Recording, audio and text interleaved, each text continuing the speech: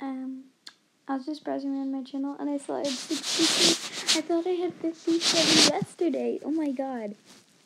Thank you guys so much for all the support. I couldn't have gotten to where I am without you guys. I'm working on a milestone video as we speak. It's just taking a really long time. It has a lot of information in it. So if you're subscribed, I really suggest that you all, all watch it. The one hour video is taking a really long time. I have lots of things going on right now. And currently it's my birthday month, so I won't be posting on my birthday or on March 19th, which is when I'm having my party. I'm not saying my birthday because, you know, I don't want anyone to hack me. I'll tell you that it's in the same week, though. Um,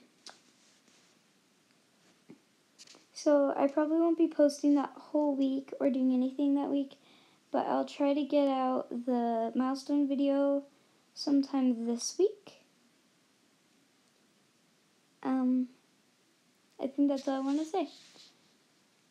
Thanks for watching, and I hope to see you guys all soon.